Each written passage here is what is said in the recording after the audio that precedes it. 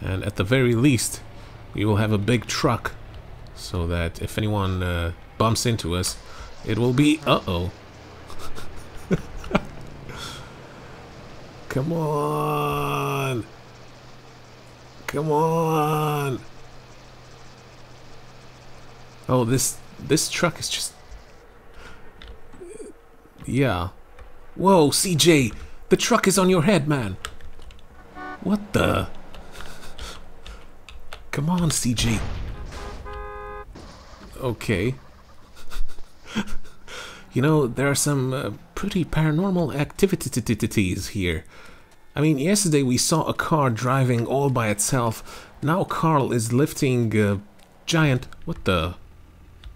What do you want? Yeah, leave a brother alone. Now Carl is lifting trucks with his head.